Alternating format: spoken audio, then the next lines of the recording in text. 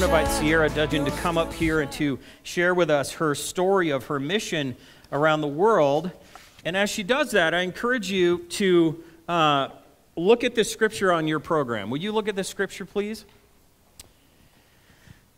This scripture says In the past, God spoke to our ancestors through the prophets at many times and in, in various ways. But in these last days, God spoke to us by his Son, whom he appointed heir of all things and through whom he also made the universe. I find it fascinating that God would come to earth and to speak to us through his son and give us wisdom to know God in a deeper way. God is a missionary God, and he sends us out on mission, and he sends us to go and to proclaim his word and to live our life as a light in the world. So, Sierra, will you share with us about the 11 month mission you went on and some things that you saw God doing around the world? Yeah. Hi. I'm really excited to speak. I love speaking, but I don't really know what I'm doing. So, Holy Spirit, you're welcome here. So, I just wanted to kind of start by showing you some of the countries that we went to and some of the ministries that we did because I'm just really thankful for all the love and prayers and financial support and everything that this body had supported me with. And I want to bring it all back to you. So, gave some pictures that I was just going to kind of go through them and talk about what I did each month. So, this first picture, I'm not in it, but I love this picture. This was in Mozambique, which Mozambique is like, holy cow. I swear, I'm like, I think the Garden of Eden was here because this place is rough. And it's like, it's this desert. You just, the, everyone is like impoverished and like people live in these mud huts and mud huts are actually like really nice houses. Usually they live in like cloth. So it was really just like especially being our first month coming out of america it was like such a big difference to see like this building behind them. That was actually the church that we went to and it was like a nice church. And this woman here in the green capulana um, her name is flora and she was one of our people that we worked with. And what we did is walked around the the villages and we just prayed for people for two hours every day. That's all we did. Just walked around, prayed for people. so that was one of my favorite places because it was just so different from what I'm used to and what we're used to. But these people have so much joy in the midst of like nothing. And you go to church, and when they worship, they worship with their whole bodies. Like they just like dance. And like all of our songs, I realized are kind of like slow, like, you know, amazing. Like it's just kind of slow. But theirs, like, they turn up. Like, I don't know how else to explain it. They just get really excited and they like, they have some moves. So it was really fun just praying with those people. Our next country was Swaziland, and that was also Mozambique is in Africa. I don't know if I said that. Swaziland, also in Africa. Swaziland, we worked with this base that feeds children. They have care points. So this is me, I'm in the red shirt, at a care point. And what a care point does is they have older women in the community make food for the children because the children that aren't in school don't really eat. So before they go to like first grade or whatever, they come here and that's where they eat. And the older women, like they older, so they don't have a lot of like energy and they're cooking all the time and doing their own house stuff to keep it clean. So we went in, played with the kids, cleaned up a little bit, kind of like prayed over everything. Yeah, that was a really fun month. All the kids are so cute. So we can go to the next slide. So Madagascar, was the next country we went to, also in Africa. There we evangelized door to door and taught um, little kids English. So that's a picture of me um, teaching a little boy, probably like the days of the week or something. And then Malaysia was interesting. We went to Asia, and um, our first couple months, we just did what is called Ask the Lord. So, usually, when we went to a country, we would have hosts set up, and we the host was in charge of everything and they would be like okay go pray for these people or go preach or like clean the house or play with kids or those kinds of things. Um, but then when we got to malaysia we didn't have hosts. So we really relied on the holy spirit and would just pray like okay god who are you going to send me today? What are we going to do? Um, yeah so malaysia we met this guy right here on the corner and we met him and just kind of became friends with him and we hiked this like Batu cave temple thing with him, and we just like prayed over him and tried to love on him a little bit. And so that's kind of um, what ATL was. We can go to the next slide. So I, oh, my team and I decided to go to Singapore one weekend. And so we actually got to go to 13 countries, which was really cool. And yeah, so Singapore, we did Ask the Lord. So we honestly showed up in the middle of the night didn't have anyone i don't recommend this by the way but we didn't have anyone like anywhere to stay because um, it was too expensive. We only have five dollars a night. So uh, yeah we showed up and we had to actually sleep on the street which singapore is super clean so it was okay. We were like god like we're used like you know we wanted to come here and have an adventure. Like can you just send us someone? And um, we went to this church and met this woman. She's actually my age so she was 23 her name's roseanne she's like one of the funniest people I've ever met. She came over to us and said, Hey, the Holy Spirit told me to just come over here and ask you to stay at my house. And so we ended up um, hanging out with her. This is us at a small group at her house. Um, so that was so cool how the Lord showed up and provided for us and answered our prayer. And this next picture is of me and my team in Sri Lanka. Sri Lanka was also Ask the Lord. So again, um, we just prayed and asked the Lord for people to work with.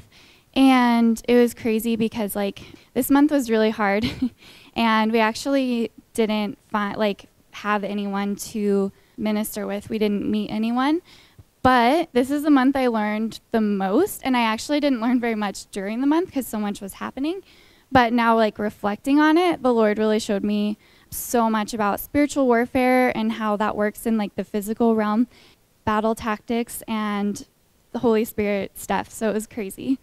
Uh, so Thailand, we were only there for two weeks. Actually, my whole team got sick. One girl had dengue fever, so she was in the hospital. Um, we stayed in Bangkok, and it was kind of just a nice two weeks of rest. I did yoga, and yeah, it was just a nice time to like be in the Word and those kinds of things. Myanmar, we also had to ask the Lord for hosts. So we actually met a monk, and he said, I like teach English, and I'm always looking for Americans to come teach English.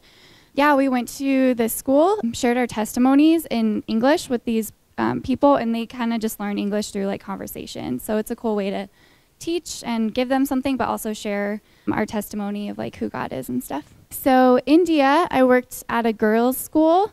I love like all these women; they're so amazing. And they look like they're teenagers, but they're actually like 28. um, yeah, but they love the Lord. They know so much about Him. One of the things I really learned that month was like because these girls were so mature with the Lord and like walking with the Lord, it was just kind of like, I'm not really needed here, you know? Like they don't really need me to teach them or whatever. Like they know more than I do about Bible and but it was cool because God really showed me that it's not about being needed, it's about being present and letting Him meet you where you're at, which is going to kind of play into what I'm going to be talking about a little bit. So then Nepal, we actually worked with sex trafficking victims, and we went to brothels, and they're called dance bars, but it would be like the equivalent of a strip club here. And we met with the girls, and they have a home for them. So we talked to them like, if you want to get out of what you're doing, um, you can come with us and live at this home, and we'll give you a job. And then they also like they yeah they provide jobs for these women and also like disciple them. So that was really cool. And Nepal is beautiful. Next slide. Costa Rica, that was a weird month. We did a lot of manual labor. This is us at a church uh, macheting plants and raking and stuff. We also painted a maximum security prison, which like sounds really cool, but it, it was kind of like whatever. it wasn't as cool as it sounds, but that was really fun. Just got to bless people by doing work for them. Nicaragua, was my second to last month. We worked at a boys' school and taught them English, and I love those boys. They were so much fun. um, they really just like radiated the joy of the Lord. And then there should be the last slide here. Um, this was El Salvador. This month we worked with YWAM, and YWAM is an amazing organization, and um, they kind of do whatever. So we were working in a slum. We would go to the slum with them every day and just kind of help them prepare, prepare food and, and do their ministry. So those were, that was kind of a basic, really short recap of every month. I really wanted to share that with you guys because if it were me and like I was listening to myself, I'd really want to know what I was doing. So yeah, I hope that was fun for you to know. Yeah, so one of the things that the Lord really taught me was like, I would go to all these countries and there were already ministries in place and there was already like a body of Christ like in place doing everything and a lot of the time I would show up and I kind of had this expectation of like I'm going to show up and like do all these things and serve all these people and like change lives and like people are going to get saved and all this stuff because of like God's like using me to do this and whatever. But like actually what would happen is I was get there and like they wouldn't really need our help. Like it was kind of just nice to have us and we would kind of do the chores that people don't really get around to because they're not that important and it's just kind of like, oh, it'd be nice, you know, if the grass was cut, but that's not our first priority, but since you guys are here, like why don't you do that or something? It was kind of hard sometimes cuz you would just be like I'm really not needed, you know, like why am I even here? And so finally like I really prayed about it with the Lord, and He's like, it's not about being needed, Sierra. It's just about being here in this moment. And like, God just showed me that He's just like constant, and He doesn't, because of that, like every second, like, he's here and just really feeling that like every second he's here so be like i need to be here and i need to be present whether that's like doing the chore that no one really wants to do or like just kind of being brushed aside because I'm not really needed or whatever, just like having joy in that. Um, so that was like a really cool thing. Um, I think um, before the race, I went to this passion conference and it's for college kids. And um, it's like, yeah, there were like 50,000 people. It was in Houston. It was really crazy, really cool. Um, Christine Caine, she is a speaker. She's amazing. Um, but she said something that really has stuck with me throughout, like, ever since I heard it, which was about two years ago. And so she said, there's going to be a time for like you to go out and build God, God's kingdom, and there's also a time where um, God builds you. But they both work together, and like you need God to build you before you can go out and build his kingdom. So at the time, I was sitting here or there in Houston, I was like listening to this and I was I had I was just about to apply for the world race. And I was like, yeah, when I go on the world race, that's going to be my time to build kingdom. And like I'm so excited to do that. But it's kind of yeah, I was just kind of ended up being wrong about that what the Lord showed me is that, like, yeah, just time and location and how that plays into um, his rhythm. So, like, um, I took notes on my phone. he kind of, yeah, God showed me on this trip his heartbeat and his rhythm. It's kind of like, you know, a heartbeat, it's like this, and it's kind of like the waves of the ocean go like this, and they all have like a rhythm, and it's like one flat line, but it kind of goes up and down.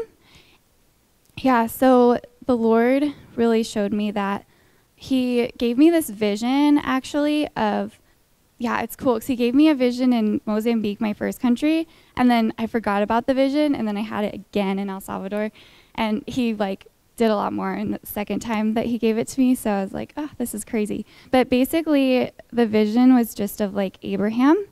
Abraham uh, was like called into a new name. And so God told Abraham, like in his old age, you're going to be a father of many. And Abraham was like, what? I'm too old. I can't have kids or whatever, you know. And God's like, no, like you're you're to have a new name and it's to be father. And he gave him this promise. This song that I really like, it's actually called Abraham. It says, um, there is a mountain in between all you have said and all I can see. Um, I was listening to this song and just thinking of that, and um, yeah, it just kind of gave me a picture of like Abraham standing here, and God's right next to him, and God's like, Abraham, I've given you this promise, and like, or like this promised land, and a new name, and it's um, on the other side of this mountain. And if you want it, like, you have to climb up this mountain and then, you know, climb down into, yeah, into your promise. At the beginning of the race, um, God didn't tell me this part. He just gave me a vision of me climbing a mountain with him. Then in El Salvador, he kind of explained, like, what that was. Yeah, it's again like that mountain, like that heartbeat, you know, and like God's rhythm all flowing together. And um, so, yeah, Pastor Reed gave me this verse. It's Luke, or sorry, Matthew. Um, was it on here or did I? Okay, I'll read it. It's on the screen. Oh, oh this is great. Um, so when they had gone, an angel of the Lord appeared to Joseph in a dream. Get up, he said, take the child and his mother and escape to Egypt. Stay there um, until I tell you, for Herod is going to search for the child and kill him. So, um, yeah, he took the child during the night, left for Egypt, uh, where he stayed until the death of Herod. And so was fulfilled what the Lord had said through the prophet, Out of Egypt I call my son. Yeah, so it all kind of like ties in together to me and my spirit of just like, God like gives us these journeys because he's present and constant, he gives us a journey. And a lot of the times we're looking at the destination. So, like, I was kind of, imagine me as like Abraham, and like, God's like, Sarah, I'm giving you a new name and a promise. And like, you know, your new name is like missionary, and you're going to go go be a missionary and like and then you're going to step like the promise is over here but you have to actually do the journey first and climb the mountain like i was thinking about the destination over here. But God's like, no, you have to like climb the mountain first. And um, he kind of did that with Mary and um, Joseph too, of like, well, first with Mary when, you know, she's trying to like get married and all this stuff. And then God just like totally interrupts her schedule. And he's like, hey, you're going to be pregnant. And she's like, wait, what? And so, you know, she had to be interruptible and obedient to that. And God gave her a new name of like, you're going to be a mom and, um, yeah, on top of being a wife. And um, like, that's your promise. And same for Joseph, like, you're going to be a father, and like, that's your promise. And they had to go back to Bethlehem before they could receive their promise and um, of like you know the birth of jesus so they go on this journey back to bethlehem and it's funny because the bible doesn't really talk about like all the emotions and all the things that they're going through on this journey you know but they probably had a lot to talk about. I mean that's just i'm guessing they talked about a lot and prayed about a lot and had to rely on the lord. Yeah so they go to bethlehem. It's kind of like you know their spirits were like climbing this mountain and they get there and then, you know, they go down and enter the promise and have Jesus. And um, they're called by their new names. But then, again, like Herod's after them to kill their son. So after they got their promise and everything, like they have to go out again and go on another journey. And, you know, it doesn't just stop. Like it's that heartbeat and it's that rhythm that's just going like this all the time. And it's constant and like a flat line, but you have ups and downs along the way. Yeah, so the Lord just kind of gave me that picture to share with you all today. And um, I just wanted to impart, like, um, kind of just ask the Lord maybe, like, where am I in this journey? Um, you know, like, am I standing at the bottom of the mountain and you just whispered your new promise to me? Or am I climbing the mountain right now and, um, like, you're right next to me, like, pushing me through it? Or am I at the top of the mountain and, like, I'm entering into my inheritance? And God uses, like, our physical prospering to um, kind of control, like, how our soul is prospering. So, like, your um, location and your spirit tie in together.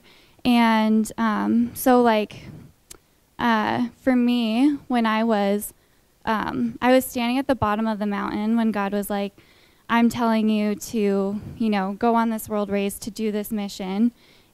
On the mission, I was climbing up the mountain, and then now it's like I thought I kind of entered my inheritance, but now I'm on a whole nother journey. And um, I'm only like, I'm actually kind of like Mary, like, I'm actually supposed to be getting married, but God was like, no, first you need to go back to Greeley and you need to go back and share what I've given you. And instead of like entering your inheritance of like being married to this man, like you need to go back home and like you're still on month 12. You're still, you know, you're going to do month 13 in Greeley too. Like you need to still be on that journey. And then once I step into like this marriage, that's my new name. That's my promise. That's my inheritance that he's given me but then there's going to be a whole nother one. You know, it just keeps going. Um, so, yeah, just kind of like, are you currently standing here excited? God's given you a new name, a new promise. Um, if that's where you're at, then like you probably need to be in praise and in prayer and like excitement and like a spirit of joy with the Lord. Um, and if you're climbing that mountain and you're kind of just like passing through, um, or you know, you don't really have a lot of like, um, yeah, just like um, kind of constants and like time and relationships with people, but you're kind of just like, all right, I'm just kind of going along, and then you know, I'll be somewhere for a long time later. Um, you probably need endurance, and like God needs to feed your spirit with endurance. And um, yeah, if you're standing in that inheritance and like you need rest and like you need the rest of the Lord. And then like one last thing I wanted to say is that um, God uses the body and uses these ministries that like they're here for a long time. They have relationships with people. He uses those to like build his kingdom. So like right now, um, you guys are all here and part of this body and you're all like, you know, builders. Yeah, if God sends you on a mission, then you're going to be um, not necessarily building, but you're going to be built. So when I was gone, since we were changing uh, countries every month, like I was being built because everything around, I didn't have enough time to create these relationships and be with these people. Um, but like because of that, God really built me and showed me a lot. Um, so yeah, now coming back and having this like, I can pick a place and I can stay in one place and um, I can build those relationships. I can do those things, whether that's being a long term missionary somewhere else or staying in Greeley, wherever that is, like, God's gonna use me to pour back out and like I'll kind of be on that um, on that heartbeat. So I just wanted to impart to everyone here, um, just that like, if you've been here a while, like you're God's missionaries right now, and um, you're here for Greeley. Yeah, God is our inheritance, and we are His inheritance, and He um, is like overjoyed by us, and He actually sings over us, and He's singing over us right now, just as we're singing over Him. Um, and He came down from heaven and like wrapped himself in flesh to come here to be a missionary to us, which is so beautiful. And like God loves journeys so much, he gave himself a journey. Like Jesus was on a journey for us. Um, there's this song that I really like by Hillsong, and it's called Seasons. And one of my favorite lines is, God could have saved us in a second, but instead he sent a child. And um, like Jesus was sent here, and he could have just come and like died right away to save us all, but he lived 33 years, and he was on this 33 year journey for us. I hope everything made sense, and if you have any more questions, there's a lot to share, so um, just let me know. Sierra, thanks for sharing with us and for talking to us about the mission.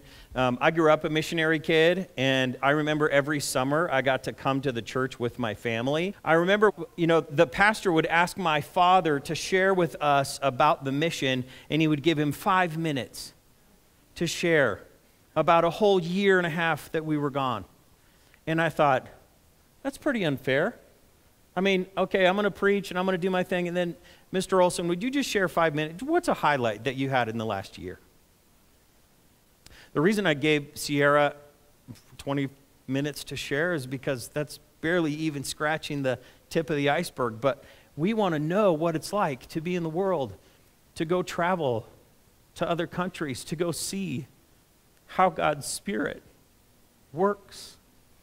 The thing I heard this morning, Sierra, from you, is that we are either being built or we're building the kingdom.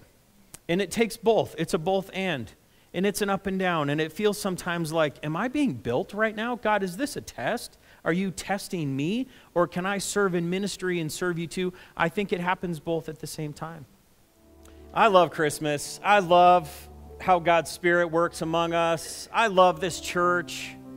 I love you. And I ask that as your heart leans into Christmas and you lean into all the fun and festivities, ask the Lord, what am I supposed to do this year that's different than last year? What am I supposed to do, Holy Spirit? What do you want from me this year? If you pray that prayer, I guarantee you'll have the best Christmas you've ever had in your life. As we follow the Holy Spirit, we grow together and we learn from each other and we grow to be God's kingdom in the world, right? Will you receive the blessing this morning as you go? May the Lord bless you and keep you. May the Lord make his face to shine upon you and be gracious unto you. May the Lord lift up his countenance to you, both in his kingdom in heaven and here on earth. In the name of the Father, and the Son, and the Holy Spirit. Amen.